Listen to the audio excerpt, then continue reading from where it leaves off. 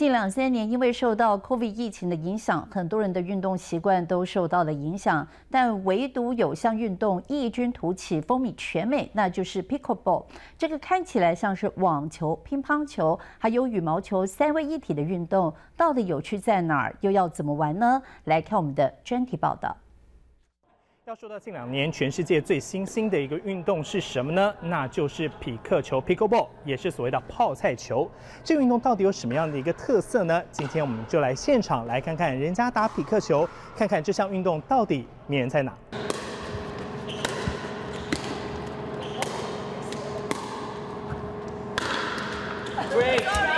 听着有如乒乓球般的声音，用着类似羽球的计分和换边规则。加上像小尺寸网球场的场地，这就是现在风靡全美的 Pickleball 匹克球。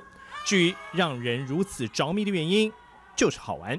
看到就是打 Pickleball 的人很开心，而且就是啊，看到他们打完球还在一起聊天啊，很很好的收手。所以我觉得，哎呀，我可以去尝尝试一下打这个球，我我也想开心嘛，对不对？没有什么特别的门槛，回归运动的单纯和快乐。Jolly 和 Vanessa 原本常年都在打网球，结果就是因为 Vanessa 的邀约，两人因缘际会，现在变成 Pickleball 的双打球友，甚至还去参加锦标赛。双双决定弃网球，从匹克球之下。过去打网球的伤，在这居然通通都好了。打网球的时候，我真的是经常受伤的，因为那个球场很大，而且你真的球很重，而且你要跑得快。但是 pickleball 呢，为什么说老人都可以，都都真的很很容易上手，很容易打的呢？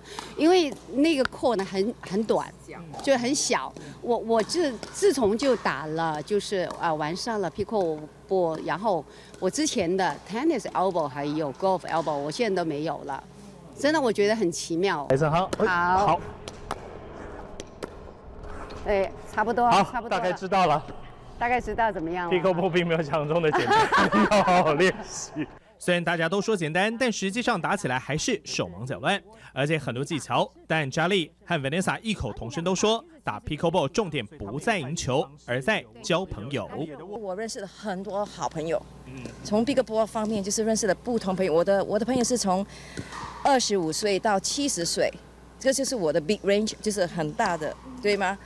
我我跟跟你讲说，每一个人我就是有时间跟他们谈交谈，在打 tennis 的时候，我真的没有时间跟他们交谈。我说 OK，我们走了，拜，就是这样走了。在这边，我们我们这就是坐下来了解一下对方出的是什么事情啊，这样我觉得很像有点 fam 呃，怎样说呢？family 的感觉，对吗？由于 pickleball 真正兴起也是近五年的事，也让球友更乐于分享与教人，增加大伙儿对 pickleball 运动的认识和喜好。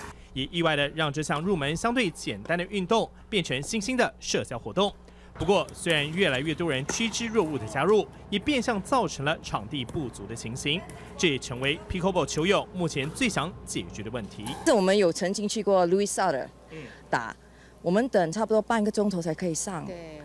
我觉得等我等到来，我我觉得没有没没有心情打了了，明白吗？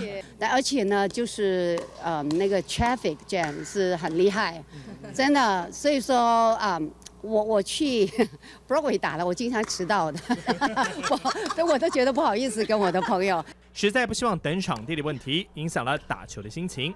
旧金山市府在得知 Pickleball 球友快速增加下，也决定从善如流，将 The Palace of the Fine Art 艺术宫的室内空间改建为旧金山第一个免费的室内匹克球球场。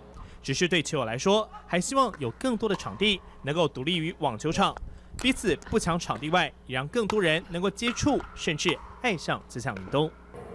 二十六台记者林早报道。